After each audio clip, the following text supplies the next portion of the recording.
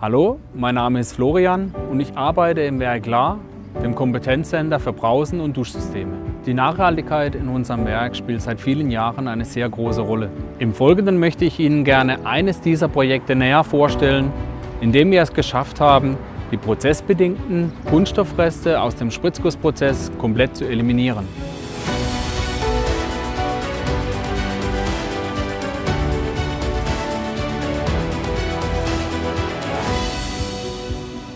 Seit ca. 2008 werden die sogenannten Taumelscheiben in unserer Kunststoffspritzerei gefertigt.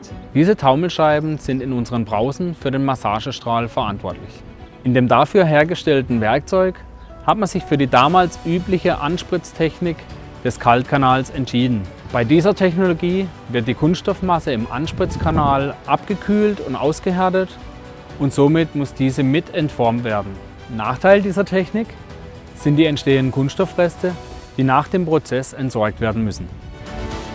Wir haben uns diesen Prozess in unserem internen Werkzeug- und Formenbau noch einmal genauer angesehen und konnten durch Füllsimulationen eine geeignetere Anspritzung mittels Heißkanal definieren. Beim Heißkanal wird die Kunststoffmasse bis zum Artikel auf Temperatur gehalten, sodass keine Kunststoffreste entstehen.